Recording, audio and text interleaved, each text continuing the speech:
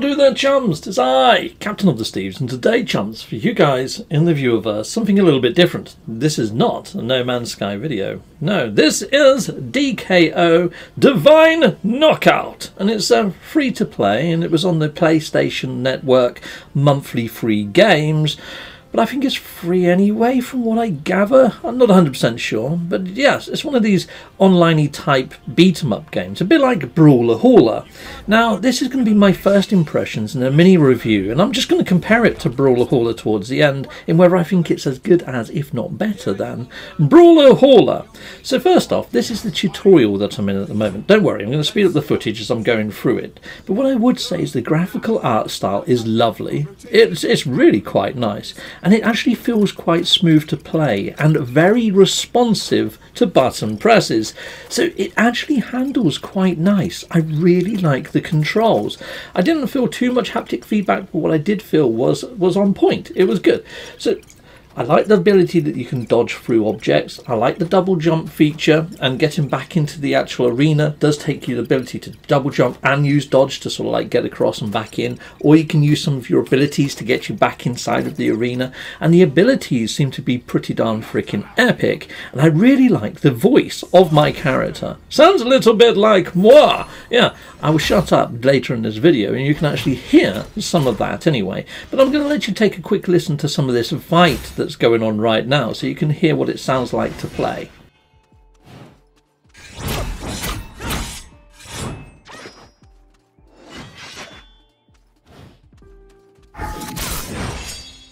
Yep. Excalibur denies you, friend. You have finished the tutorial.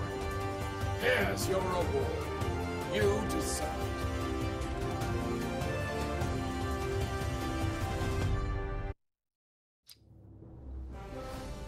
So people, it, it sounds nice, it plays nice, it feels nice, but what does it actually feel like to actually play against other players? Because that was NPC controlled.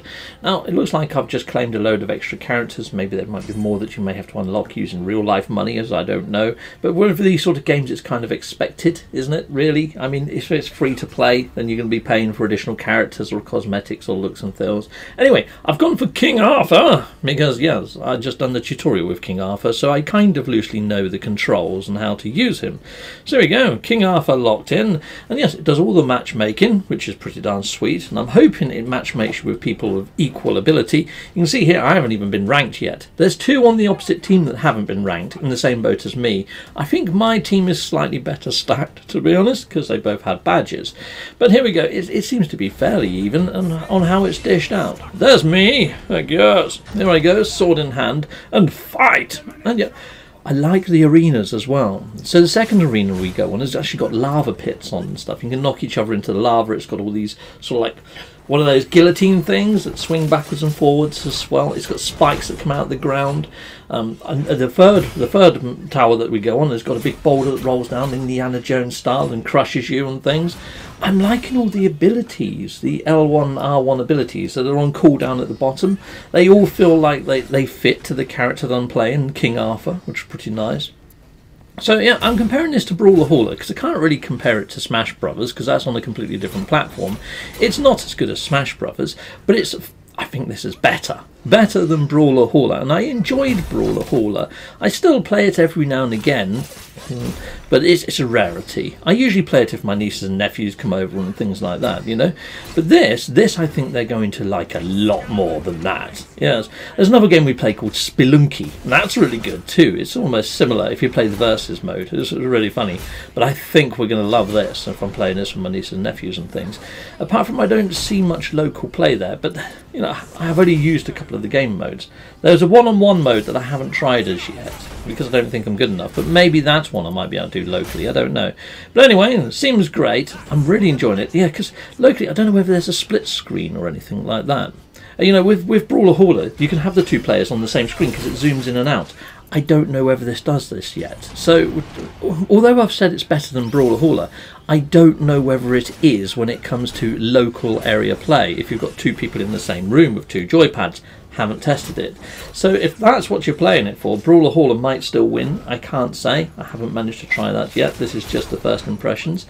But playing it solo as a singular player, remotely, freaking great fun. Really is. And the actual hard hits actually feel like you're doing hard hits. The combos just sort of flow in nicely together. It's actually a really fun, nice game to play and looks nice as well. But anyways, I'm going to be quiet for a while and you might see myself get knocked out of the arena in a bit. When I get knocked out of the arena, it, it, it says stuff like um, little mini sayings and things and I really like the sayings. I want to get knocked out of the arena more so I can hear more of them. It's really cool.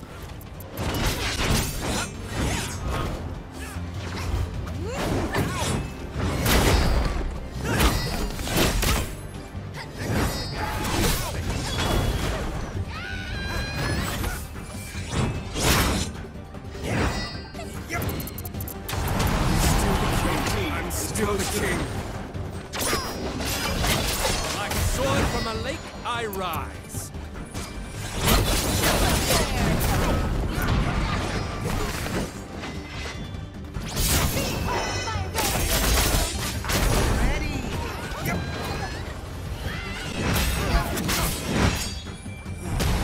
Back to Camelot for some TLC. Once more unto the breach, dear friends. See what I mean? Freaking charming. Really enjoyed playing this game, mainly because the characters feel quite vibrant, quite alive. The arenas themselves, again, quite vibrant, quite alive. Look at that giant boulder! See what I mean? It crushes people and stuff.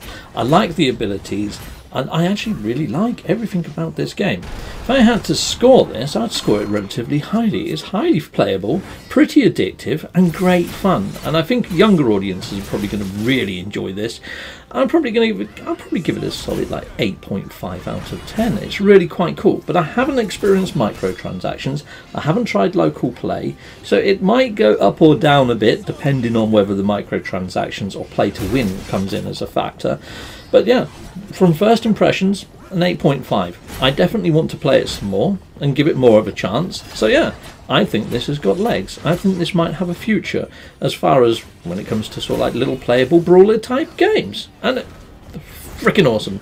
So yeah, it's free. Give it a try. Well, at least it is on PSN right now. Don't know about other platforms and all that sort of shenanigans. I don't even know whether it's got crossplay at this point because I haven't done any research.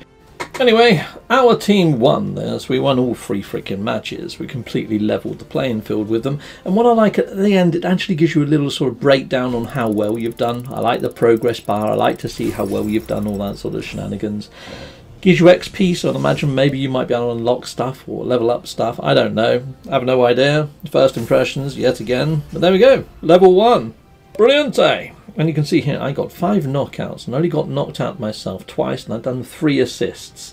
So not so bad. I mean, yeah, I'm still bottom of my trio. Trio! But I still think I've done quite well for my first play of this game. Heck yes. Until next time, people, goodbye, goodbye, and goodbye again. Give this one a try. I think you would like it. Well, thank you very much for watching. If you like what you see, please hit a like and a subscribe. And I'd like to say a massive, great big thank you to all of my backers over on Patreon and over on YouTube membership. Thanking you, backers. And if you want to support this channel, just don't skip the adverts. That throws revenue down my avenue. Or yeah, just stay with Captain Steve that little bit longer and hit something on this screen. There's merch here now too.